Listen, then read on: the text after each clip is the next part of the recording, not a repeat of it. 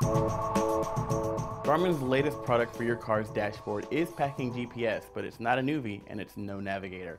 I'm Antuan Goodwin. Let's take a look at the Garmin Dashcam 20. Now the Dashcam 20 is a dashboard camera or a dashboard DVR. It's basically a little black box that suction cups to your windshield. On the front of it, there's a small HD camera that can record at 1080p, 720p, or as low down as VGA. On the back, we've got an LCD screen that you can use for framing your shots and for uh, looking at the video that the dash cam records after the fact. On the side, we've got a small port for the included uh, USB to 12 volt power cable that you use to power this thing while you're driving. There is a battery pack in here, so you can use it without it being plugged up if you don't want to drape cables over your dashboard.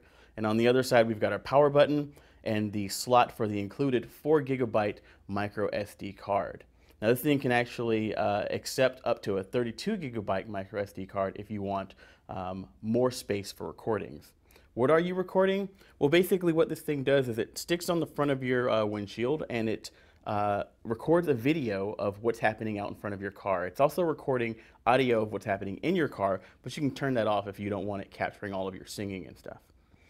When you're driving along, what it's doing is it's taking a continuous loop of uh, as much video as it can save on its SD card. And a G sensor in this thing is actually uh, looking out for any sort of strong shocks or vibrations. If you hit something like a pothole or another car, the G sensor detects that accident and it captures a couple of seconds leading up to the shock and a couple of seconds following, hopefully capturing the accident uh, within that footage. The Dashcam 20 also has a built-in GPS receiver, so it knows your latitude and longitude, and it can store your speed, uh, the direction that you're traveling, and the date and time. It includes that at the bottom of the video.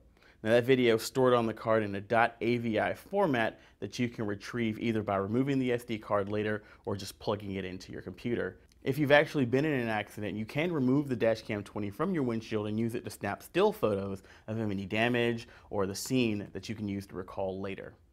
Now the Dashcam 20 is going to retail for $249. There's also a Dashcam 10 that slots in below it that loses the GPS sensor and the ability to track your speed, direction, latitude, and longitude. That's going to be 219. This is probably the one you're going to want to get. It's only 30 bucks more.